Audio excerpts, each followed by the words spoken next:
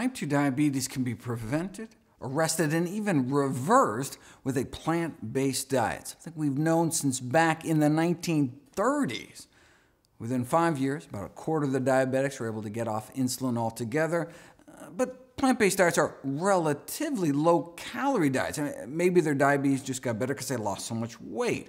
Uh, to tease that out, what you need to do is a, a, study where you switch people to a healthy diet, but force them to eat so much food that they don't lose any weight. Uh, then we can see if plant-based diets have specific benefits beyond just all the easy weight loss. Well, we'd have to wait 44 years, but here it is.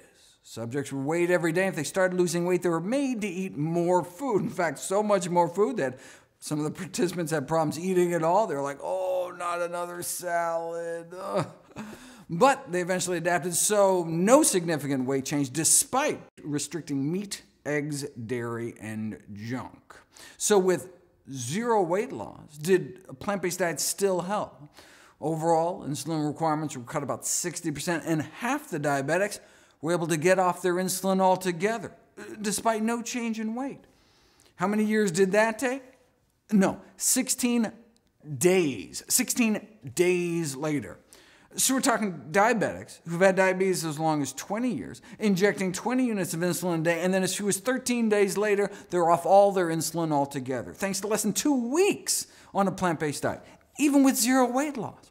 Diabetes for 20 years and then off all insulin, in less than two weeks, diabetes for 20 years because no one had told her about a plant-based diet.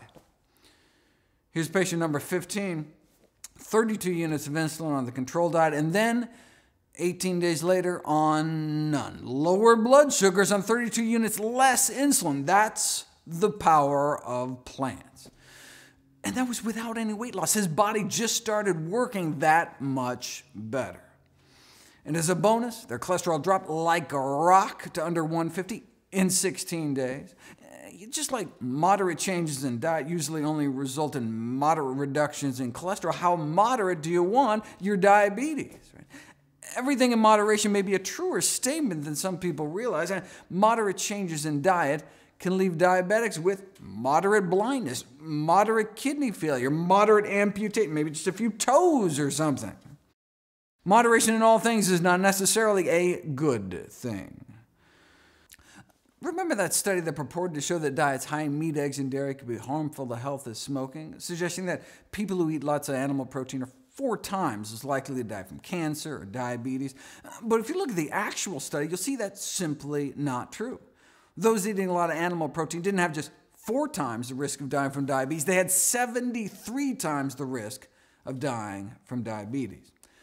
Now those that chose moderation, only eating a moderate of animal protein, they just had 23 times the risk of death from diabetes.